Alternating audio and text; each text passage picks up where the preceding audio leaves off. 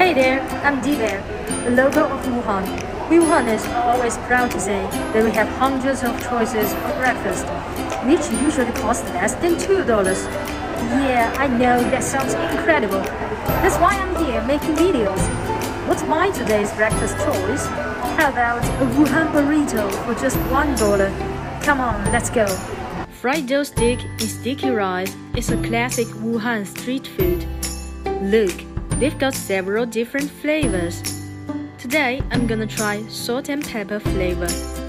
It costs less than one dollar.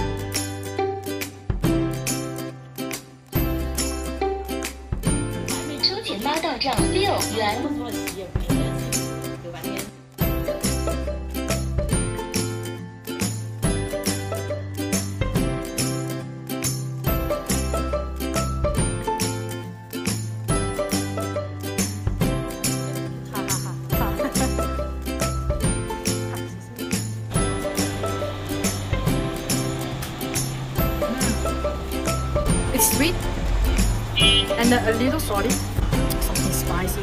It's soft outside and crispy inside. Bravo. This is fried dough stick in sticky rice. What do you usually have for breakfast? What other Wuhan street food do you know? Leave a comment and subscribe.